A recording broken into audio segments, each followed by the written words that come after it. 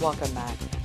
National Security Minister Philip La Corbiniere has, has refuted suggestions that the government is moving with undue haste to repatriate the Lambirds Academy students. Last week, the 60-odd Nepalese, Indian and Filipino nationals were informed that the International Organization for Migration would be assisting St. Lucia in returning them to their homelands. Monday, June 8 was the date identified for the commencement of the process. However, on that day, the students were informed that the process had been suspended. Senator La Corbiniere explained the sudden change during an interview Tuesday. We've been doing the preparatory work, working with the police to try to see which groups we could identify and what we could do. We also approached the director of public prosecutions and said to her that we are not going to, we need your permission to do it. She has basically come back to us and said that she's unable to give us that consent to send anybody out. And so it's on a whole position. That is always what it has been. We've said that we would not do it unless she gives her consent, if she's not willing to give that consent.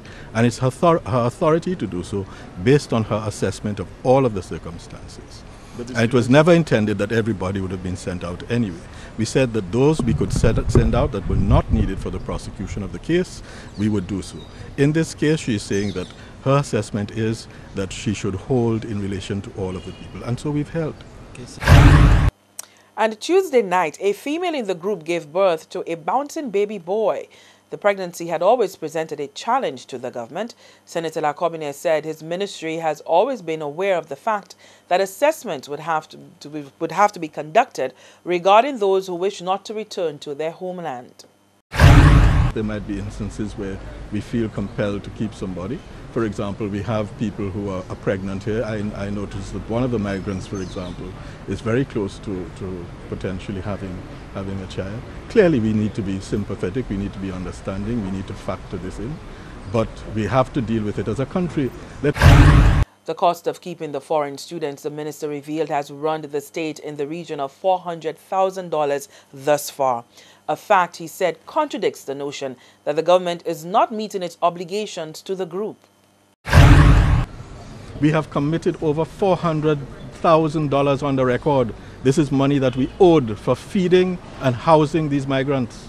So how can you say the government is not committed and the government is not doing anything? This is your country, you know. You have to be honest about the things you report and how you report them. We have spent over $400,000 in commitments and I say commitments because we have not paid all of it. The way the government goes, you, you have a bill, you pay from time to time. We've paid some of it, the government is paying in accordance with its ability to settle these bills on a timely basis. But we have committed, we owe over $400,000 as we speak for these migrants. And we keep saying that the government is doing absolutely nothing for them.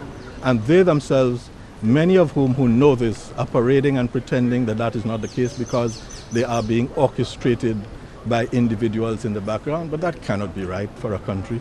It cannot be right for the country that we know these facts and we are saying things that are patently untrue on the record. Home Affairs Minister there, Victor Philip La Corbiniere.